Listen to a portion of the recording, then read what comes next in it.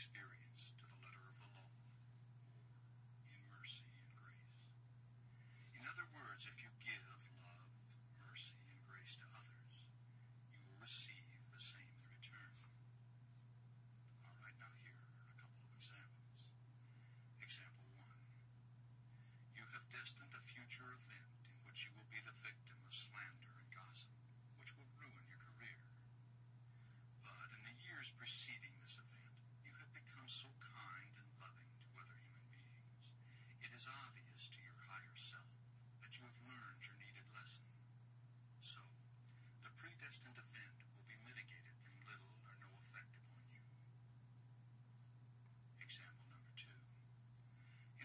this lifetime you were a person of great wealth,